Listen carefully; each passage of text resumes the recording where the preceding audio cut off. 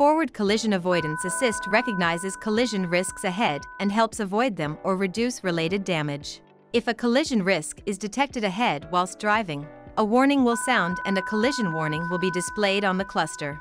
If the collision is still imminent after the warning is displayed, the emergency braking will be activated. If FCA recognizes a vehicle, pedestrian, motorcycle, or cyclist ahead, it steers out of the way or brings the vehicle to a halt. If it recognizes a vehicle approaching from the opposite lane at a junction, it brings the vehicle to a halt. If it recognizes the risk of a collision with an oncoming vehicle, it brings the vehicle to a halt. FCA can be set in the infotainment system.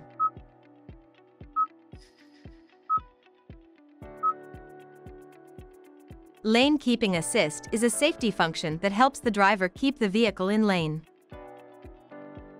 Press and hold the Lane Driving Assist button to toggle the function on and off. If a deviation is detected, LKA assists with steering to help keep the vehicle in the lane. If the vehicle leaves the lane without the indicator being activated, an alarm will sound. Lane Following Assist is a convenience function that helps keep the vehicle centered in the lane. Briefly press the Lane Driving Assist button to toggle the function on and off. If LFA detects a vehicle ahead or lane markings, it assists with steering to keep the vehicle centered in the lane. If the driver lets go of the steering wheel for a certain amount of time, an alarm will sound.